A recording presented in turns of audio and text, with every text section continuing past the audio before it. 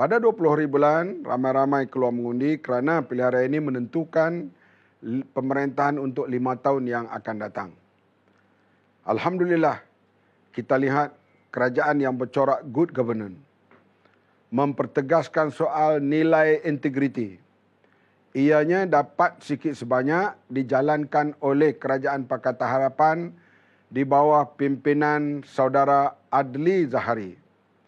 Bahkan kajian-kajian yang dibuat oleh berbagai pihak, universiti, NGO dan political party mengatakan Adli Zahari berjaya mencorakkan pemerintahan baru di mana beliau berusaha mencari mana wang kerajaan yang hilang atau dihilangkan di bawah yayasan dan sebagainya.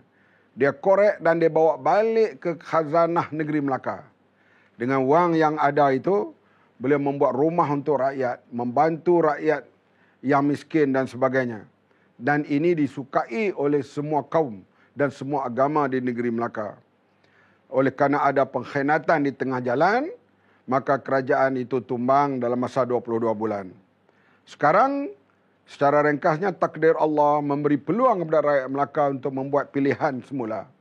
Oleh itu saya haraplah 20 hari bulan semua pengundi tak kira kaum dan agama keluar beramai-ramai mengundi dan pilihlah Pakatan Harapan kerana Pakatan Harapan menang lebih daripada 15 kerusi Adli Zahari akan diangkat semula menjadi Ketua Menteri Melaka.